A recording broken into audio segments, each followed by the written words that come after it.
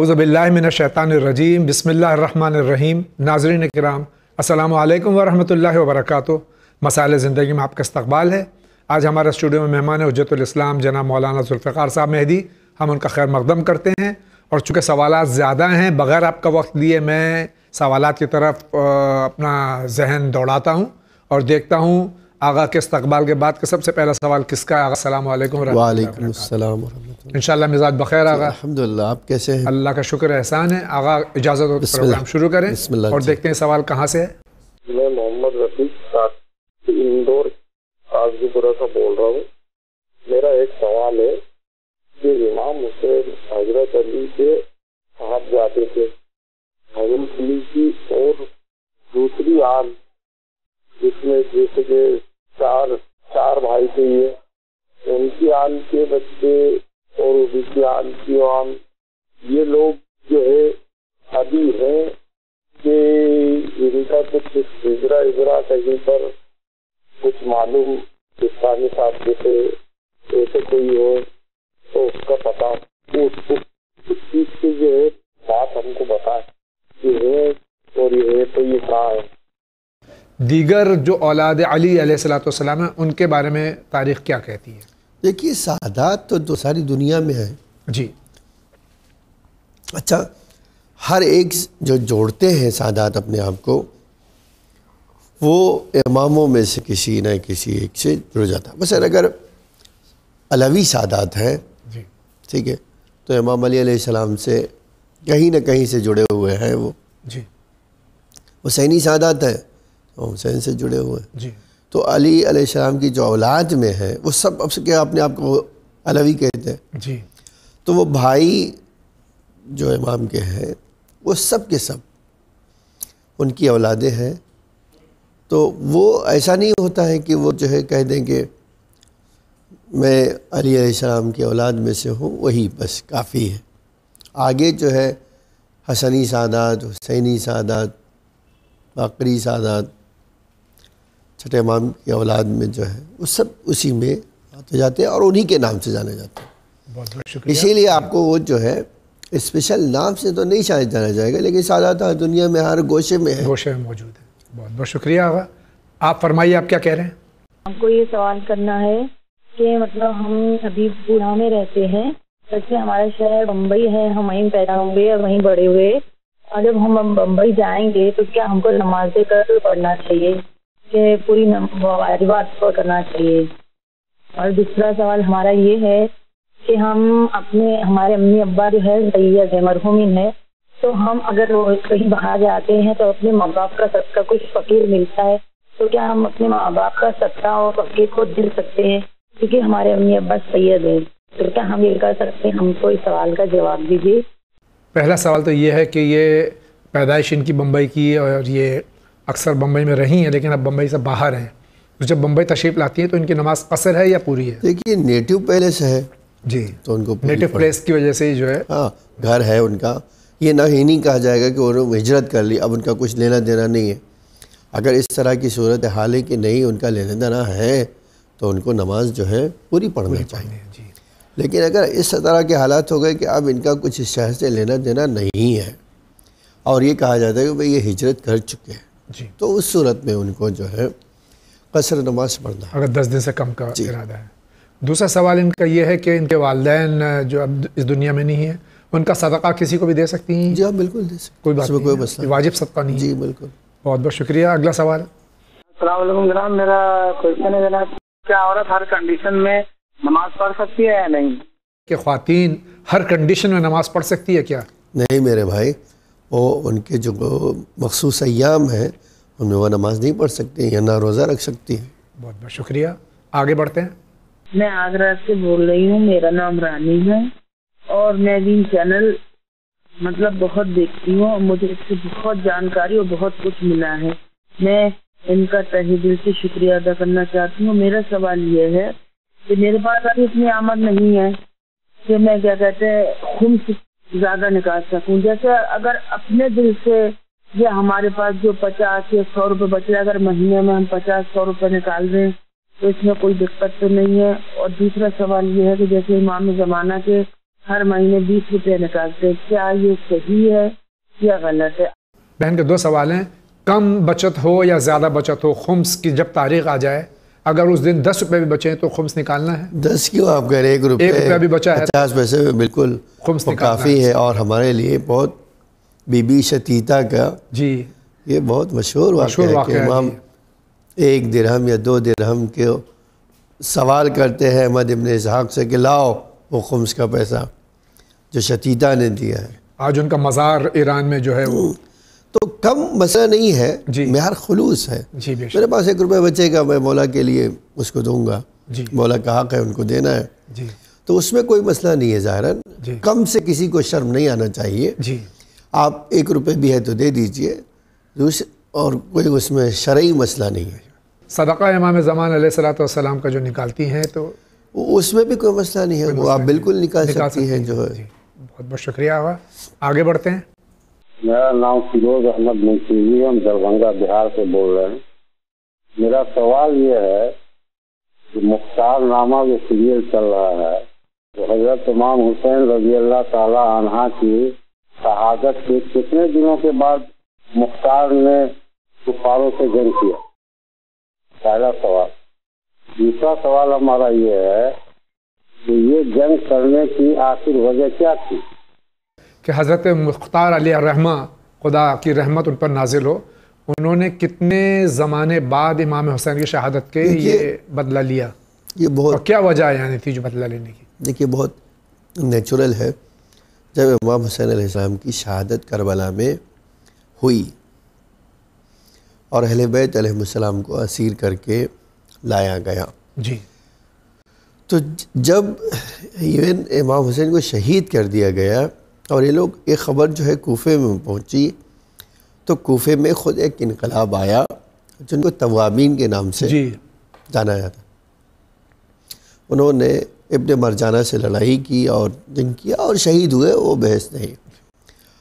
اور یہ جو ہے اس کے فوراً بعد جو ہے اس کے فوراً بعد جناب مختار نے قیام کیا اور جو وقت ان کو لگا ہو وہ جمع کرنے میں اپنی طاقت و فوج کو اور اسی وقت جو ہے وہ جا کے آپ ابن زبیر سے ملے اور جو بھی آپ نے دیکھا ہے، تو بہت فاصلہ نہیں آپ کہہ سکتے ہیں بلکہ آپ کہہ سکتے ہیں کہ بھائی سن اکسٹھ ہجری میں امام حسین جو ہے ہوئے ہیں، شہید ہوئے ہیں ساٹھ ہجری یا اکسٹھ ہجری کے اوائل میں۔ تو اس کے فوراً بعد جو ہے ایک سال نہیں گزرا ہوگا شاید یا کچھ اور کم رہا ہو۔ جی۔ وہ یہ انتفاضہ شروع ہو گیا۔ دیکھیے ہر ظالم جب ظلم کرتا ہو تو ایک مومن کا فریضہ ہے کہ مظلوم کے ساتھ کھڑا رہے۔ بے شک۔ اور امام حسین علیہ السلام نے جو قیام کیا تھا وہ اس یزید ملعون کے خلاف تھا جو دین کو مٹانا چاہتا تھا۔ اور دین میں بدعت ایجاد کر رہا تھا۔ اب یقیناً امام حسین اس لڑتے ہوئے اس کو جو ہے مقابلہ کرتے ہوئے شہید ہو گئے۔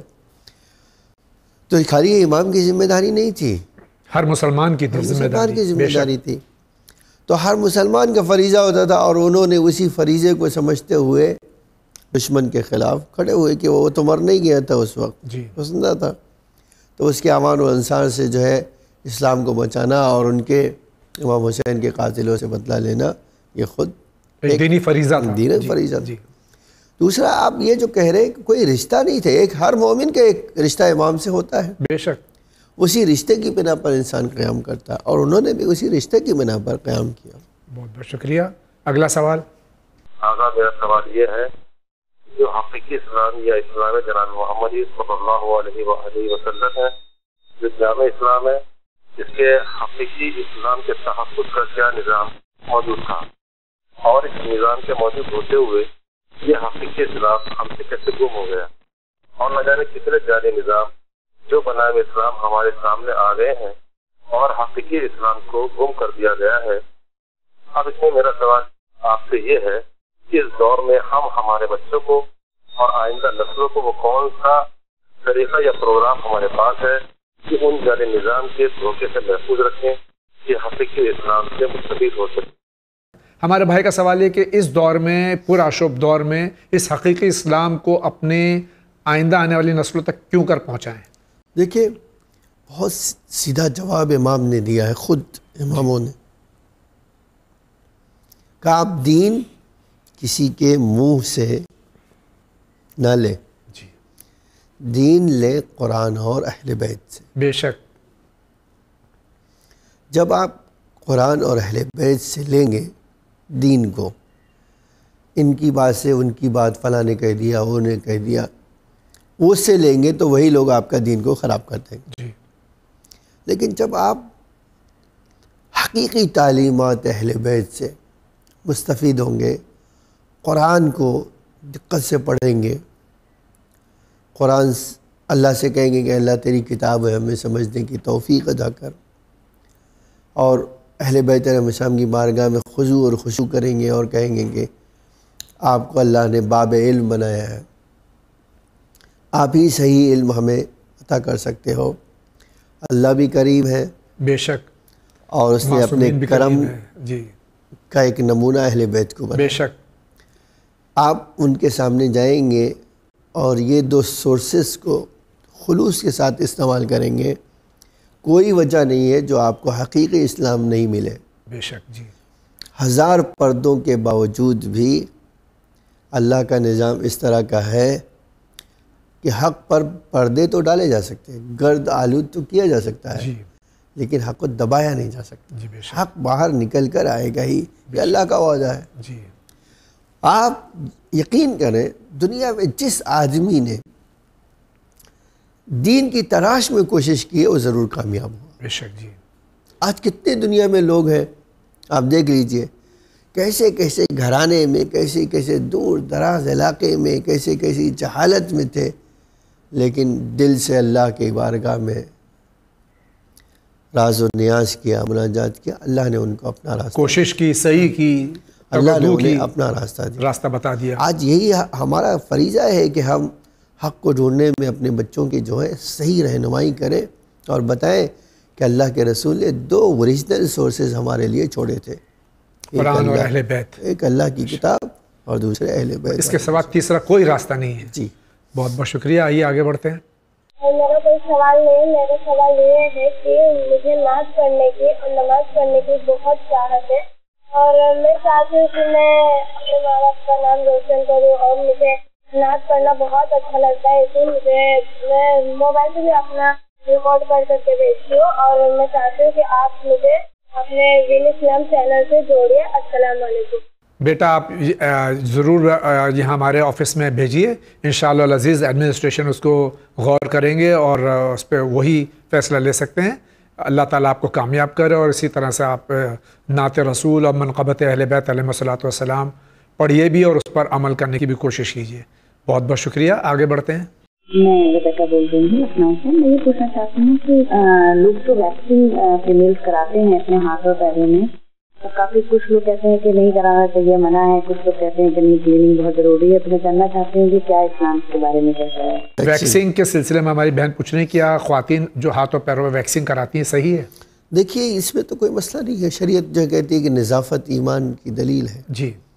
اگر وہ جو ہے اچھا ایک عورت کو زینت کرنے کا بھی حق ہے اپنے شوہر کے لیے اور اپنے جو لوگ محرم ہیں ان کے لیے کے لیے۔ تو یقینی بات ہے کہ نظافت اور کرانے میں اور یا اس طرح کی زینت کرانے میں کوئی کوئی حرج نہیں ہے جی۔ بس آپ کو اور مجھے دھیان رکھنا ہوگا کہ اس کے ضمن میں کوئی حرام کام نہ ہو۔ جی بہت بہت شکریہ۔ اگلا سوال۔ سر میرا نام پرنس رضوی ہے۔ میں دلی سے بول رہا ہوں۔ اور میرا سوال یہ ہے کہ سوسائڈ کرنا ہمارے اسلام میں حرام ہے۔ مطلب اپنے آتما ہتیا کرنا بہت گناہ مانا گیا ہے۔ تو پھر سر یہ مجھے بتانا بتائیے آپ کہ انسان جب سوسائڈ کرتا ہے اور وہ مر جاتا ہے تو اس کو یہ کہا گیا ہے کہ یہ حرام ہے۔ اور یہ بھی بتایا گیا ہے کہ یہ موت جو ہے اللہ کی طرف سے ہے۔ تو اللہ نے ہی تو مارا ہے میری نظر میں تو اللہ نے ہی مارا ہے۔ پھر جب موت اللہ کی طرف سے ہے اور جنم بھی اللہ کی طرف سے ہے تو میری سمجھ میں یہ نہیں آ رہا تو پھر وہ حرام کیسے ہو گیا؟ سوسائڈ آتما ہتیا خودکشی حرام ہے لیکن موت بھی اللہ ہی عطا کرتا ہے۔ تو پھر یہ تو اللہ کی طرف سے ہے۔ تو پھر اس میں گناہ کیوں؟ دیکھیے ایک نعمت کا صحیح استعمال نہ کرنا خود گناہ ہے۔ جی۔ آپ اور میرے پاس جو زندگی ہے وہ اللہ کی دی ہوئی امانت ہے۔ جی۔ کیا اس امانت کو میں اس مقصد کے لیے استعمال کر سکتا ہوں جس کی پرمیشن اللہ نے نہ دی ہو؟ جی۔ یقیناً میں اس کو استعمال نہیں کر سکتا۔ آپ کو کس نے یہ حق دیا ہے کہ جو زندگی اللہ نے آپ کو دی ہے اس کا آپ خاتمہ کریں؟ جی۔ کس نے حق دیا؟ کوئی نہیں۔ ہاں۔ جی۔ اب کوئی نہیں ہے جو کہہ دے کہ میں اس کا مالک ہوں اور میری مرضی۔ یہ مالک تو اللہ ہی ہے۔ آپ کی جان کا میری جان کا اور دنیا کی ہر مخلوق کا مالک وہی ہے۔ مالک وہی ہے اس کے علاوہ کوئی نہیں ہے۔ اب اس نعمت کو جو اللہ نے دیا تھا آپ جب اس کی جگہ پہ استعمال نہیں کریں گے تو اسی کو ہم کہتے ہیں حرام۔ جی۔ کفران نعمت۔ کفران نعمت ہوگی تو یقیناً وہ چیز آپ کے لیے حرام اور ناجائز ہو جائے گی۔ اب ایک سوال ہے۔ آپ کو اللہ نے ایک نعمت دی اور وہ نعمت آپ نے غلط استعمال کی۔ اللہ نے کہہ دیا کہ تمہارے لیے حرام ہے۔ ٹھیک ہے۔ لیکن اس نعمت کو آپ جو ہے،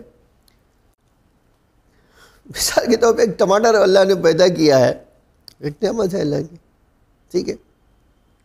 اس کو مس یوز کرنا چاہیں آپ۔ تو ہو سکتا ہے یا نہیں ہو سکتا؟ سکتا انگور کو اللہ نے بنایا کھاؤ شراب بنانے کے لیے تھوڑی دیا تھا۔ جی۔ آپ نے بنایا تو غلطی کس کی ہے؟ آپ کی ہے۔ بے شک۔ چاقو آج موجود ہے۔ آپ چاقو بنائے سبزی کاٹنے کے لیے۔ آپ اسے گردن کاٹیں تو کٹے گے یا نہیں کٹے گی بے شک کٹے گی کٹے گی انسان کو اللہ نے جو باڈی دیا ہے بدن دیا ہے اس میں لچیلا پن رکھا ہے۔ کہ آج ایک پتھر ماریں گے تو سر پھوٹ جائے گا اور خون نکلے گا۔ نہیں پھوٹے گا تو یہ اس میں عیب ہے۔ پھوٹنا عیب نہیں ہے۔ جی۔ ہاں پھوٹنا عیب ہے۔ اسی لیے اب اگر کوئی آدمی جو ہے اپنے آپ کو ہینگ کرا لیتا ہے ہیک کر لیتا ہے تو اس میں اللہ کا کیا کام؟ اس نے یہ کام کیا۔ آپ کہہ رہے ہیں روح تو قبض کرنے والا وہی ہے۔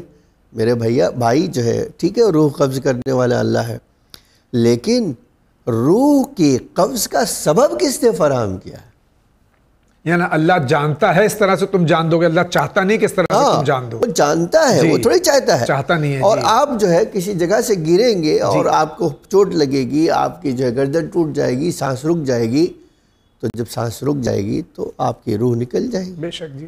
نظام سبب تو آپ نے یہ فراہم بے کیا شک جی۔ اس میں اللہ کا کیا کام؟ جی۔ یہ بات سچ ہے کہ موت اور حیات دینے والا ہے اللہ۔ اللہ بے شک۔ ٹھیک ہے؟ لیکن سبب کس نے فراہم کیا؟ جی۔ سبب تو آپ نے فراہم کیا۔ جی۔ جو اس میں اللہ کا کیا کام ہے؟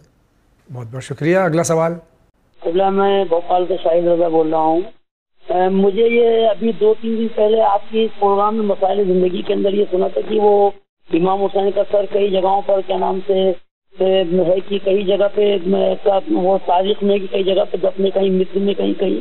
تو کیا مجھے یہ پوچھنا ہے کہ جو چوتھے امام آئے تھے تیسرے دن روزے عاشورہ کے بعد اور آپ نے آ کے سب لاشوں کو دفنا دیا تھا بنی اسد کے ساتھ قافلے کے ساتھ۔ تو کیا بعد میں یہ سر امام حسین آیا اور اس کے جسم کے ساتھ اس کو دفن کیا گیا؟ السلام علیکم۔ یہ یہاں سے جواب دیا جا چکا ہے کہ جسم ہائے مقدس جو ہے وہ تیسرے دن دفن کر دیے گئے عاشور کے بعد۔ لیکن سر ہائے مقدس جو ہیں جب یزید کے قید سے رہائی ہوئی ہے اس وقت دیے گئے تو ملحق کر کے کربلا معلّہ میں مستند روایت یہی ہے یہ جواب یہاں سے دیا گیا ہے۔ وہ صحیح ہے یہ جی۔ کہ جب تین دن کے بعد دفن کیا گیا تو شہدا کے سر نہیں تھے۔ جی۔ بعد میں امام نے لا کر ان کی قبر سے ان کی لاش سے ملحق کیا ہے۔ جی۔ بہت بہت شکریہ۔ اگلا سوال لیتے ہیں۔ جی میرا نام شاہد علی بٹ ہے۔ میں کشمیر بڑگام کا رہنے والا ہوں۔ میرا سوال یہ ہے جو سورہ عادیات ہے سورہ نمبر سو قرآن میں تو یہ سورہ کس کی شان میں نازل ہوا ہے؟ اور اس میں اس سورے میں خدا نے کس کے لیے اتنی قسمیں کھائی ہیں؟ کہ جب وہ گھوڑے کو ایڑ لگاتے ہیں تو آیات آتی ہے، جب گھوڑا چلتا ہے، اس کی جو ٹافے ہیں وہ زمین میں رکھتے ہیں، چنگاریاں اٹھتی ہے اس کی قسمیں کھاتا ہے خدا۔ تو یہ جو سورہ ہے، کس کی شان میں نازل ہوا؟ ایک تو میرا سوال یہ ہے، دوسرا سوال یہ ہے کہ جو سورہ کافر ہے، وہ کب نازل ہوا اور کیوں؟ وہ کس کی شان میں نازل ہوا؟ بس یہی میرا سوال ہے۔ کشمیر سے ہمارے بھائی کا سوال ہے سورہ عادیات میں جو اللہ نے قسمیں کھائی ہیں کس کے لیے کھائی ہیں یہ بہت واضح ہے میرے بھائی۔ ظاہر غزو ذات السلاسل کہا جاتا ہے اس کو۔ جی۔ یہ علی علیہ السلام کے بارے میں نازل ہوا اور پوری جنگ کا نقشہ اس سوریادیات میں اللہ نے کھینچا۔ جی۔ اور تاریخ نے ہمیں لکھا ہے کہ امام رات کی تاریخی میں حملہ کرتے تھے اور ایک تکبیر کہتے تھے اور ایک دشمن کو قتل کرتے تھے۔ جی۔ ہزار تکبیر کہی یا مثلا اور ہزار دشمن خدا کو واصل جہنم قسم کیا۔ کیا اور اسلام کو کامیابی اور فتح نصیب ہوئی۔ جی۔ یہ پورا واقعہ جو ہے امام علی علیہ السلام سے مخصوص ہے۔ اور آپ جانتے ہیں کسی بھی جنگ میں ایسی نہیں ہے جس میں علی علیہ السلام نے دین کی نصرت نہ کی۔ کی ہو۔ دوسرا سوال یہ ہے سورہ کوثر کس کے لیے اور کب نازل ہوئی؟ دیکھیے سورہ کوثر جو ہے نازل ہوا ہے جناب زہرا کی شان سلام اللہ علیہ۔ اور یہ جو ہے پیغمبر کو تانا دیا جاتا تھا کہ آپ ٹھیک ہے آپ آئے ہیں دین پھیلا رہے ہیں اور دین کے لیے کوششیں کر رہے ہیں لیکن آپ کی اولاد تو نہیں ہے۔ آپ کے بعد تو ہم خود قبضہ کر لیں گے۔ اللہ نے اس کا جواب دیا کہ یہ ہم پیغمبر کو کوثر عطا کریں گے۔ جو قیامت تک جاری رہنے والی نسل ہوگی اور جو ان کے دشمن ہوں گے وہی ابتر ہو جائے گا ابتر ہو جائیں گے اور ان کی نسل ختم ہو جائے ہو گی۔ جائے گی۔ اور آج آپ اس حقائق قرآن کو حقیقت قرآن کو اپنی آنکھوں سے دیکھ سکتے ہیں۔ جی۔ اللہ نے علیہ رسول کو دنیا کے ہر گوشے میں رکھا ہے اور وارث زہرا کو آج بھی پردے غیب میں رکھا ہے اور دشمنان جو ہے اسلام کو کہیں نام و نشان بھی نہیں ملتا ہے۔ بہت بہت شکریہ آغا۔ اگلا سوال دیکھتے ہیں کہاں سے؟ سوال ہمارا کچھ اس طریقے سے ہے کہ وہ جو ایک آیت ہے قرآن کی کہ انما ولیکم اللہ و رسولہ والذین آمنوا والذین یقیمون الصلاۃ اس میں سوال یہ ہے کہ جو مولا کائنات و زکوٰۃ ادا کی ہے حالت رکوع میں، تو زکوٰۃ واجب ہے اور واجب وہ فعل ہے کہ جس کو پہلا انجام دینا چاہیے تھا۔ سوال یہ ہے کہ جب مولا کائنات پر زکوٰۃ واجب تھی، تو پھر پہلے زکوٰۃ دینی چاہیے تھی اور نماز پڑھنے گئے تو کس کی گئے؟ جبکہ ہونا یہ چاہیے تھا کہ پہلے زکوٰۃ دیتے یا پھر بعد میں نماز پڑھتے لیکن اس میں کہ حالت رکو میں زکوٰۃ ادا کی۔ سوال یہ ہے ہم اس کے جواب سے منتظر ہیں۔ اس آیت کا تفسیر چاہتے ہیں؟ زکوٰۃ صدقات کو بھی کہا جاتا ہے۔ اور اے میرے بھائی جو امام نے جو ہے رکوع کی حالت میں زکوٰۃ دیا وہ زکوٰۃ واجب نہیں ہے۔ جی۔ مستحب صدقات ہے۔ ٹھیک ہے؟ فقیر کی آواز پہ لبیک کہتے فقیر کی آواز پہ لبیک کہہ کے صدقہ دینا۔ جی۔ یہ پر اللہ نے اس کی مد و سرا کی ہے۔ جی۔ یہ واجب زکوٰۃ کی بات نہیں ہے۔ نہیں ہے۔ اور یہ تقریباً مفسرین میں اس میں کوئی اختلاف نہیں ہے۔ جی۔ جو بہت اگر کچھ لوگوں نے ایسا کہا ہے تو بہت نادر ہے ان کی کوئی طرف کو توجہ کرنے کی ضرورت نہیں ہے۔ نہیں ہے۔ اور ہمارے علماء ہمیشہ سے کہتے آئے ہیں کہ وہ زکوٰۃ زکوٰۃ مستحب تھی۔ جی۔ ورنہ امام بہت اچھی طرح سے جانتا ہے کہ زکوٰۃ واجب کب ادا کیا جاتا ہے اور امام ہے وہ. ہاں۔ جی بے شک. بہت بہت شکریہ. اگلا سوال. میرا نام ظہیر احمد انصاری ہے اور میں چیمبور واسی ناکا سے بول رہا ہوں۔ اور میرا سوال یہ ہے کہ حضرت امام حسن کو جو زہر دیا گیا ہے چھ بار تو وہ کون سے زہر سے مرے؟ سبت اکبر حضرت امام حسن علیہ السلاۃ وسلام کو کئی بار زہر دیا گیا اور اس زہر سے جس سے کہ حضرت امام حسن علیہ السلاۃ والسلام کی شہادت ہوئی ہے شہادت ہوئی ہے تو وہ کون سا زہر تھا؟ دیکھیے ہمارا زہر حلاحل کہا جاتا جی۔ ہے اور یہ بھیجنے والے بھی امیر شام سے آیا تھا۔ ہم شام جی۔ سے آیا تھا۔ جی۔ اور اس ملونہ نے امام کو زہر دیا تھا جی۔ اور اسے زہر حلاحل کہا جاتا۔ ہے ظاہراً اس کا کوئی خاص نام نہیں ہے۔ بہت بہت شکریہ۔ آگے بڑھتے ہیں۔ جی میں کرگل سے بول رہا ہوں۔ جی میرا سوال یہ ہے کہ اسی مسئلے میں اگر ایک مرجع نے حرام قرار دیا ہے عمل کو کرنے کے لیے، تو دوسرا مرجع اگر اس کی مستحب یا جائز قرار دے تو ہمیں کیا کرنا چاہیے؟ میں سوال کو اس طرح پیش کروں کہ میں ایک مرجع کی تقلید میں ہوں، اس مرجع نے ایک چیز کو حرام قرار دیا دوسرا مرجع اس کو حرام نہیں کہتا۔ میرے لیے کیا حکم ہے؟ جس مرضے کی تقلید کرتے ہیں اس کو فالو اس پر فالو کرنا واجب ہے۔ جی ہاں۔ جی بہت بہت شکریہ۔ آگے بڑھتے ہیں۔ میں نے اس کے پہلے بھی ایک دو بار سوال کیے تھے مگر مجھے جواب نہیں ملا۔ اس کا کیا ریزن ہے مجھے پتا نہیں۔ خیر میری ایک التماس سے دعا ہے چینل ون سے۔ تمام چینل ون کے ممبران سے خدمت گزاروں سے کہ اربعین کا جو ہنگام ہوتا ہے، جو لوگ نجف سے کربلا کے لیے جو زائرین پیدل چل کے جاتے ہیں مولانا حسین علیہ السلام کے دربار میں، اس کی ہم اگر ویڈیو کیسٹ کریں یہ تین دن کی، تو کیا ہم اگلے تین سو پینسٹھ دن تک روز آدھا گھنٹہ اس کیسٹ کو بتا سکتے ہیں؟ مغرب اور عشاء کی نماز کے بعد کیونکہ یہ وقت ایسا ہوتا ہے کہ تمام لوگ گھروں میں واپس آ جاتے ہیں۔ تو میری التما سے دعا ہے کہ کیا ایسا ممکن ہے کہ ہم وہ تین چار دن کی جو کیسٹ ہے بنائیں اور وہ اس کو تین سو پینسٹھ دن تک کے ہم اس کو ہر آدھا گھنٹہ روز مغرب عشاء کی نماز کے بعد بتائیں۔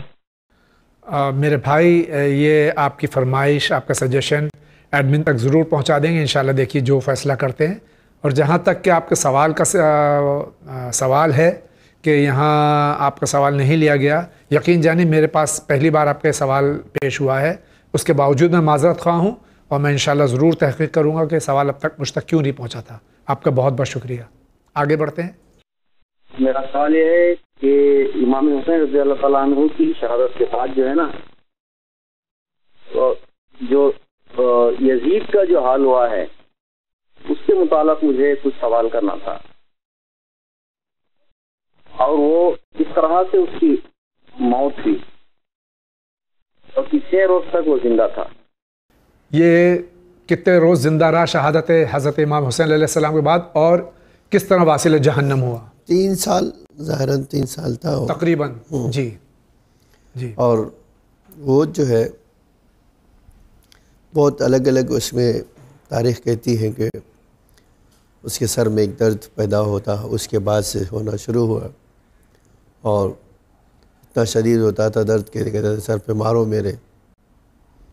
اور اسی اور یہ جملہ بھی کہتا تھا مالی والحسین۔ آخر میرا میں نے امام حسین نے امام حسین نے کیا کیا تھا میں نے ان کے ساتھ؟ اور ایک دن اسی درد میں واصل جہنم ہو گیا۔ بہت بہت شکریہ۔ اگلا سوال؟ میرا نام ہے نور الدین. ہم اروناچل پردیش سے بول رہا ہوں. میرا سوال یہ ہے کہ قرآن کی آیت لکھ کر کوئی بیمار یا کوئی وجہ کے لیے وہ تعبیذ بنا کر پہننا ہے اور اس کے اوپر وشواس کر کے کیا یہ سکھا دے گا یہ جائز ہے یا ناجائز ہے؟ اس کے بارے میں جاننا ہے۔ یقیناً قرآن شفا ہے اہل بیت شفا ہیں لیکن جو یہ تعویذ کے طور پہ یا ہوا دیتے ہیں قرآن کی یا مریض کے اوپر دم کرتے ہیں یہ اب ہمارے بھائی پوچھیں جائز ہے یا نہیں؟ دیکھیے قرآن شفا ہے۔ بے شک۔ اس میں کوئی شک نہیں ہے۔ اور اہل بیت بھی شفا ہیں۔ شفا ہے اس میں بھی کوئی شک نہیں ہے۔ وسیلہ جو ہے ایک ایسی مستند چیز ہے جو قرآن اور حدیث دونوں سے تائید حاصل ہے۔ جی۔ اللہ قرآن میں کہتا ہے یا ایو الذین آمنوا وفتغوا علیہ الوسیلہ۔ وجاہدوا فی سبیلہ لعلکم تفلحون۔ اور اس میں بھی کوئی شک نہیں ہے یہ قرآن کی آیت ہے کہ وہ اس میں وسیلے کی بات کی گئی ہے۔ سورہ یوسف پڑھ لیجیے۔ بہت واضح لفظوں میں کہا ہے اللہ نے کہ یوسف کا پیرہن یعقوب نبی۔ کی آنکھ کی روشنی واپس ہونے کا سبب, سبب ہے۔ بنتا ہے۔ جس میں بھیڑیے کا خون تھا۔ جی یوسف کا خون بھی نہیں تھا۔ جی۔ آپ اسی سے سوچ لیجیے کہ یہ وسیلہ کتنا اور اللہ نے ذکر کیا ہے۔ جی بے شک۔ اب ایک دیکھیے میرے بھائی میں خود اس بات کا گواہ ہوں۔ اب دیکھیے میں واقعی سوچتا ہوں میری زندگی میں یہ ایک ایسا واقعہ پیش آیا۔ میں میرے خیال سے شاید آٹھ سال کی عمر کا رہا ہوگا۔ جی۔ گاؤں میں رہتے تھے۔ کسی سبب میری آنکھیں جو ہے بند ہو گئی ہزار کوشش کرے نہیں کھل ایک دن دو دن۔ یہاں تک کہ ہماری والدہ گرامی جو ہے وہ ڈاکٹر کے پاس۔ اب گاؤں سے لے جانا تو بہت مشکل تھا اس زمانے میں جی۔ اچھا دیکھیے، ڈاکٹر کب دے گا کوئی، بھائی، آپ کی آنکھ میں کچھ پرابلم ہے؟ آپ کی آنکھ تو بند ہو گئی۔ اب آپ کوشش کر رہے آپ کھول رہے ہیں کھول نہیں رہی۔ ڈاکٹر نے کہا، بھائی، یہ تو کوئی ایسی بیماری ہو کہ مثلا آشوب چشم ہو، درد ہو، یہ ہو، درد نہیں ہے، کوئی وہ نہیں ہے۔ آنکھیں کھولتی نہیں، دن ہے نہ رات ہے کچھ اس سے بھی بھائی سورج کی روشنی کی بنا پر نہیں کھل رہی ہے آنکھوں میں طاقت نہیں ہے۔ وہ اب اور پریشانی ہو کہ بھائی ایک آٹھ سال کا ہمارا بچہ اور اچھا خاصا اور اچانک اس کی دونوں آنکھیں بند ہو آپ یقین کریں گے ہماری والدہ نے قرآن اٹھایا اور دو تین تین دن وہی ہوا قرآن کی ہوا۔ وہ ایسے کھولتی تھی اور صرف اسی چیز نے میری آنکھ واپس ایک بار اٹک سے کھول دی۔ الحمدللہ جی۔ تو میں سوچا کہ اللہ نے اپنی کتاب میں کون کون سا اعجاز رکھا ہے کسی کو پتہ نہیں۔ بے شک جی۔ واقعی نہیں پتہ۔ ایک آیت کیا اثر کرتی ہے اللہ ہی جانتا ہے۔ بے شک جی۔ ٹھیک ہے۔ لیکن یہ ایک بحث بات کہنا چاہتا ہوں میں۔ دیکھیں وسیلہ جو ہے اسی طرح استعمال ہو جیسے اللہ چاہتا ہے۔ بے شک۔ جیسے اس کے رسول اور اہل بیت علیہ السلام نے بتایا سیرت جی کی سیرت۔ بے شک جی۔ بس یہ بات ہے کہ آیتیں لکھ کے رکھو ہاں۔ اس کا فائدہ تمہیں ملے گا۔ وہ سچ سمجھ میں آتا ہے بھائی یہ تعویذ ایسی ہو۔ جی۔ لیکن مثلا بہت میں نے تو کہیں نہیں دیکھا ہے یہ ہوا لینے کے بارے میں جی۔ ٹھیک ہے۔ لیکن میں میں خود میری زندگی کا خود یہ واقعہ ہے۔ جی۔ تو میں یہ بھی نہیں کہوں گا کہ قرآن کی ہوا دینے سے فائدہ نہیں ہوگا۔ نہیں ہوگا۔ آپ کی نیت کیا ہے؟ جی۔ آپ کیسے سوچتے ہیں؟ جی۔ اسی طرح اہل بیت کا نام لینا۔ میں آگے مرتضیٰ کشمیری کی جو ہمارے ایک بزرگ عالم گزرے ہیں سید عبد الکریم کشمیری ظاہر نام تھا ان کا کہتے تھے کہ میں اپنی ماں زہرا سلام اللہ علیہ کا نام لے کر کسی تالے پہ بند کر پھونک دو تو تالا کھل جائے۔ آدمی کے اندر اتنا علم اور اتنا عمل ہو۔ بے شک۔ اتنا وسیلہ وسیلہ اتنا تقدس اتنا متقی و پرہیزگار ہو انسان یقیناً۔ بہت بہت شکریہ۔ اسی کے ساتھ میں یہ کیا فرما رہے ہیں دیکھتے ہیں۔ السلام علیکم۔ میں بنگلور سے بات کر رہا ہوں۔ میرا نام ہے سید۔ میں امام حسین کا بہت عاشق ہوں اور پنجتن پاک کو مانتا ہوں۔ مگر میرا ایک سوال یہ ہے کہ اہل بیت ہونا ضروری ہے اس دنیا میں؟ یا صرف پنجتن پاک پر عقیدہ رکھنا ہی مناسب رہے گا۔ اور بغیر کسی ہج مزاج کے ذکر نادیہ علی کا ذکر ہم کر سکتے ہیں کیا؟ السلام علیکم۔ انتظار رہے گا آپ کے جواب کا محبت اہل بیت کے سلسلے میں سوال ہے بھائی کا۔ وہ بھی قرآن نے کہا ہے جی۔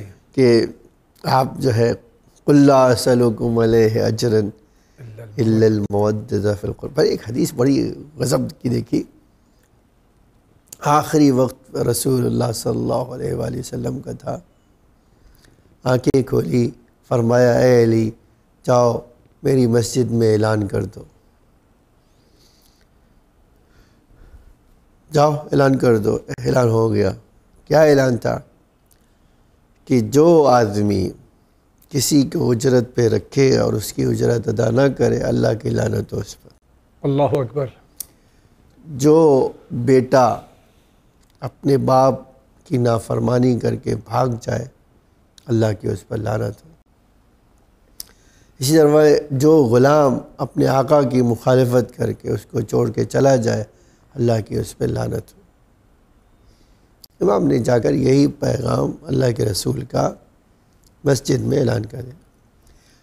ایک صحابی نے کھڑے ہو کر پوچھا کہ علی ہم سمجھ نہیں پائے۔ ہم سمجھ نہیں پائے آپ کیا کہنا چاہتے ہیں کہ جو کسی کو اجرت پہ لے اور اس کی اجرت ادا نہ کرے اس پہ اللہ کی لعنت ہو جو اپنے باپ کی مخالفت کرے ان کو ناراض کرے اللہ کی اس پہ لعنت ہو اور جو غلام اپنے آقا کو چھوڑ کے چلا جائے۔ اس پہ اللہ کی لعنت ہو۔ جی۔ ہم سمجھ نہیں پائے آپ کیا کہنا چاہتے ہیں۔ ہمارا داری آپ دیکھیے۔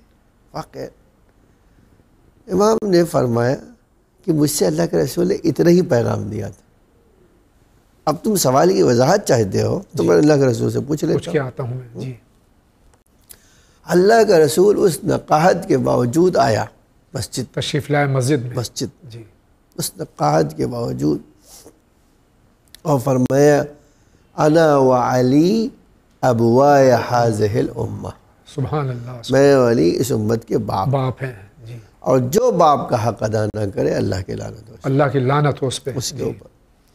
اس کے بعد دوسرا جملہ یہ فرمایا کہ میں اور اے علی انا و انت اجیر هذه الامہ۔ اس امت کے آپ مچیر اجیر ہیں۔ اور اگر کوئی آپ کی اجرت ادا نہ کرے اللہ اس پر اللہ کی لعنت ہو۔ جی۔ ٹھیک ہے۔ تیسرا جملہ کہ جو غلام اپنے آقا کو چھوڑ کے چلا جائے اس پر اللہ کے کہ اے علی جا کر کہہ دو انا وانت مولا هذه الامہ میں اور آپ اس اس امت کے مولا مولا ہیں۔ ہے جی۔ اور جو ہمیں چھوڑ کر جائے گا اللہ کی لعنت ہو۔ سبحان اللہ سبحان اللہ۔ آپ اس حدیث کا لب لباب آپ دیکھ لیجیے اللہ کا رسول کیا چاہتا تھا بہت اچھی طرح سے۔ واضح طور سے فرما دیا۔ جی۔ بتا دیا۔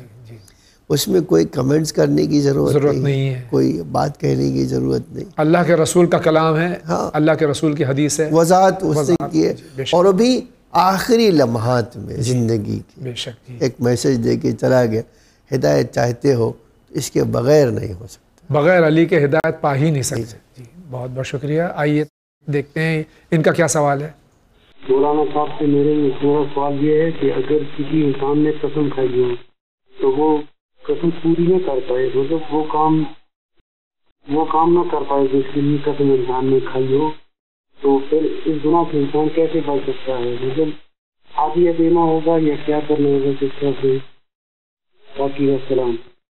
اگر کسی نے قسم شرعی کھائی ہو اور وہ پورا نہیں کر سکے تو اس کے لیے کیا حکم ہے؟ کفارہ کیا اس کا؟ دیکھیے جب آپ قسم شرعی کھائیں گے تو کفارہ اس کا معین ہے۔ جی۔ آپ کو مثلا کے طور پہ جو ہے روزے رکھنا ہے۔ تین روزے ہیں؟ ہوں۔ جی۔ نہیں آپ کو دس آدمی کھانا کا کھلانا ہے۔ کھلانا ہے۔ نہیں کپڑے پہنانا ہے۔ تو ان میں آپ کو چوائس ہے کوئی یہ کریے نہیں کر سکے تو یہ نہیں تو وہ آپشن آپ کے پاس ہے۔ تینوں میں سے کوئی ایک کرنا ہے۔ جی بہت بہت شکریہ۔ اگلا سوال کیا ہے؟ بغیر ترجمے کے کیا قرآن پڑھنا غلط ہے؟ کیا اللہ کو قبول اور دوسرا سوال میرا یہ ہے کہ جس کی نمازیں قضا ہوتی ہیں، جس بندے کے اوپر وہ پڑھ رہا ہے، روزانہ ایک دن کی روزانہ نماز قضا بھی ادا کرتا ہے ادا کے بعد۔ اس کے بعد وہ کیا نماز وحشت کسی کی یا نماز شب نہیں پڑھ سکتا؟ کیونکہ میں مجلس میں ٹی وی پہ میں نے سنا تھا، مولانا صاحب کہہ رہے تھے کہ جس شخص کے اوپر نماز قضا ہو وہ کوئی مستحب نماز نہیں پڑھ سکتا۔ حد یہ ہے کہ کسی کی نماز وحشت بھی نہیں پڑھ سکتا اور نماز زیارت بھی نہیں پڑھ سکتا اور نماز شب بھی نہیں پڑھ سکتا۔ پلیز مجھے اس کا جواب ضرور دیجیے ہماری بہن کا دو سوال ہیں۔ پہلا سوال یہ ہے کہ بغیر ترجمے کے کیا قرآن نہیں پڑھ سکتے؟ نہیں بالکل پڑھ سکتے ہیں جی۔ آج قرآن نے خود کہا ہے جی۔ بسم اللہ الرحمن الرحیم رتل القرآن ترتیلا۔ جی۔ کہیں بھی نہیں کہا کہ آپ ترجمہ کے ساتھ پڑھیے۔ جی۔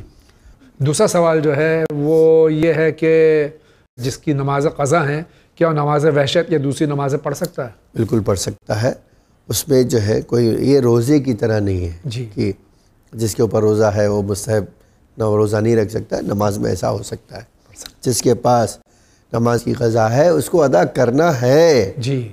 لیکن ایسا نہیں ہے کہ وہ مستحب نمازیں نہیں پڑھ سکتا یا نماز وحشت نہیں پڑھ سکتا یا نماز نہ جنازہ نہیں پڑھ سکتا ایسا کوئی ایسا نہیں۔ نہیں ہے۔ بہت بہت شکریہ۔ اگلے سال کا سوال لیتے ہیں۔ جناب میں نے ایک سے ڈیڑھ لاکھ روپیہ کام کرنے کے لیے لیا تھا اور میرے کام میں نقصان ہو گیا۔ اب وہ میرا معاہدہ یہ طے ہوا تھا کہ جو بھی نفع ہوگی وہ آدھی آدھی لیں گے۔ جو بھی مثلا ایک لاکھ بچے گا تو پچاس ہزار لیں گے، پچاس ہزار بچے گا تو پچیس پچیس ہزار لیں گے۔ یہ معاہدہ طے ہوا تھا جناب۔ تو اب وہ کہہ رہے ہیں، ہمارا نقصان ہو گیا کافی اور بھی میرا، میرے پاس سے بھی بہت سا پیسہ لگ گیا۔ اب وہ کہہ رہے ہیں کہ میرے پورے پیسے واپس کرو۔ تو اس میں کیا مسئلہ ہے؟ آپ ہمیں بتائیں۔ اگر کسی نے ہمارے ساتھ بزنس کیا، پیسہ لگایا ہے، تو نفع نقصان دونوں میں وہ شریک ہے۔ بالکل۔ اب نقصان ہو گیا تو کیا وہ جس کا پیسہ ہے وہ واپس مانگ سکتا ہے؟ نہیں اس کو نقصان برداشت کرنا پڑے گا۔ جی۔ اور جتنا نقصان ہوا ہے اسی حساب سے دونوں میں معاہدے کے مطابق تقسیم ہو جائے گا۔ بہت بہت شکریہ۔ اگلا سوال۔ میرا نام محمد اشفاق ہے۔ میں دلی سے بول رہا ہوں۔ میرا سوال یہ ہے کہ میں آیت اللہ سستانی صاحب کی تقریب میں ہوں۔ سستانی صاحب کے جن مسئلوں میں احتیاط واجب لگایا جاتا ہے ان میں ہمیں کس مرجع کی طرف رجوع کرنا شکریہ یہ قائد محترم حضرت آیت اللہ العظمہ سید علی الحسینی سیستانی حفظ اللہ تعالیٰ کے مقلد ہیں جہاں احتیاط کی انہوں نے شرط لگائی وہاں کس عالم کی؟ خود احتیاط کا مطلب عالم فال عالم کی طرف رجوع کرنا ہے۔ ان کے بعد جو بھی اس اس رتبے پہ ہو اس کی آپ تقلید کر سکتے ہیں۔ بہت بہت شکریہ۔ آگے بڑھتے ہیں۔ سر ہمارا یہ ایک کوشچن ہے کہ جناب ہوا کی خلقت کیسے ہوئی اور جناب آدم سے پہلے ہوئی یا ان کے بعد ہوئی یا اور ایک سوال اور ہے کہ فرشتے کی پہلے خلقت ہوئی یا جناب آدم کی خلقت ہوئی یا فرشتے کی پہلے ہوئی؟ آدم پہلے خلق ہوئے یا ہوا ہوا اور آدم سے پہلے فرشتے خلق ہوئے یا یہ دونوں حضرات؟ یقینی بات ہے کہ دونوں جو ہے پہلے خلق ہوئے ہیں جی۔ جناب آدم بھی پہلے خلق ہوئے ہیں اور جناب آدم سے پہلے فرشتے تھے۔ جی۔ بہت بہت شکریہ۔ اگلا سوال۔ میرا سوال ہے کہ نماز میں جو وضو کا پانی یعنی گاڑا آ رہا ہے جیسے کہ آپ گرم پانی سے وضو کر سکتے ہیں کہ نہیں کر سکتے؟ اس کا مجھے مولانا صاحب سے جواب چاہیے۔ آج کل بمبئی کے علاوہ دوسرے تمام ہندوستان میں اور دوسرے ممالک میں سردی کا موسم ہے ٹھنڈ ہے۔ وہاں ٹھنڈے پانی سے وضو کرنا ایک دقت ہوتی ہے لوگوں کو تو کیا گرم پانی سے وضو بالکل کر سکتے ہیں۔ کر سکتے ہیں بالکل کر سکتے ہیں۔ جی۔ بس خالی سورج کے گرم پانی سے وضو کرنا مکرو مکرو ہے۔ باقی گرم گرم پانی کرنے سے وضو کریں کوئی مسئلہ کر نہیں۔ سکتے کوئی مسئلہ نہیں۔ نہیں کوئی مسئلہ شکریہ۔ آپ فرمائیے آپ کیا کہنا چاہ رہے ہیں؟ کوشچن یہ ہے کہ کیا اگر آدمی نجس ہے تو نظر کا یا حاضری کا تبرک کھا سکتا ہے؟ حالت نجاست میں کیا ہم نظر نیاز کا کھا سکتے ہیں؟ کھانے میں کوئی مسئلہ نہیں ہے۔ شریعت میں کوئی میں حکم ایسا نہیں کہ ہم نہیں کھا ہاں، سکتے۔ جی۔ بالکل۔ بہت بہت شکریہ آگے بڑھتے ہیں۔ میرا نام شرافت علی ہے۔ پونے سے بول رہا ہوں۔ ہم جو اداکاری کرتے ہیں اس میں مقصد حسین پورا ہوتا ہے کیا؟ جیسا کہ دعوتی نظام ابھی بھی چل رہا ہے۔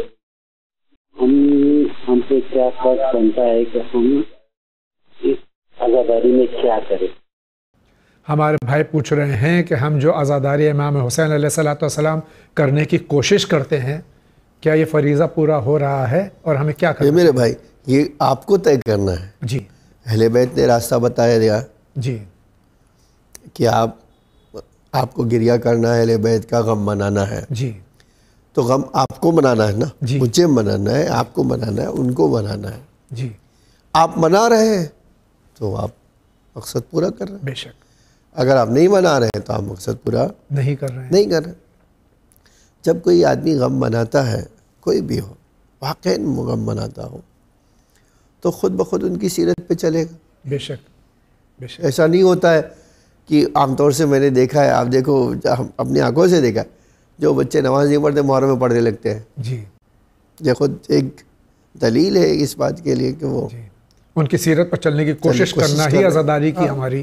علامت ہے بہت بہت شکریہ آگے بڑھتے ہیں میرا پہلا سوال یہ تھا کہ جیسے میں ایک برہمڑ گھر میں ہوں اور میں اسلام میں خاص طور پہ کیا مذہب میں آنا چاہتا ہوں تو اس کے لیے مجھے کیا کرنا ہوگا اور میری عمر پوری ہو چکی ہے تو میرا یہ سوال ہے۔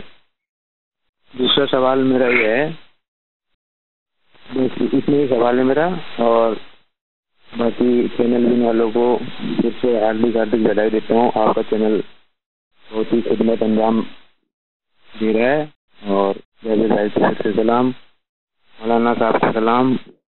اور ایک بات یہ تھی کہ میں خطیب اکبر، مولانا مرزا محمد اطہر صاحب کے انٹرنیٹ میں یوٹیوب میں بیان مجلس سے سنتا ہوں اور محرم میں بھی جایا کرتا ہوں۔ ایک ہمارے پڑوس میں حسنین صاحب ہیں، ان کے یہاں۔ اور ان سے بھی کافی معلومات ہوتی ہے۔